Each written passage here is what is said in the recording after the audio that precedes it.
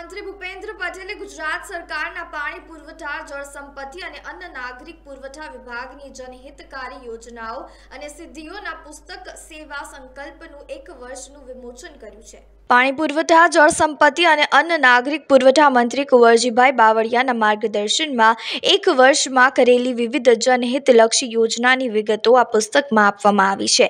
જે અનુસાર ગુજરાતમાં છેલ્લા એક વર્ષમાં રૂપિયા પાંચસો ઓગણપચાસ કરોડની વિવિધ યોજનાઓના લોકાર્પણ કરવામાં આવ્યા.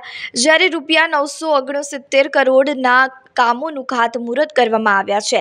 પરિણામે રાજ્યમાં અંતરિયાળ ગામોમાં પાણી પહોંચ્યું છે તો પુસ્તિકામાં રાજ્યમાં બોતેર લાખથી વધુ રેશન કાર્ડ ધારક પરિવારોના ત્રણ પોઈન્ટ ચોપન કરોડ લોકોને વિનામૂલ્યે અનાજ વિતરણ અંગેની વિગતો પણ સમાવિષ્ટ છે. તો મુખ્યમંત્રીએ રાજ્ય મંત્રીમંડળની કેબિનેટ બેઠક પહેલા મંત્રીઓની ઉપસ્થિતિમાં ત્રણેય પુસ્તકોના વિમોચન કર્યા હતા.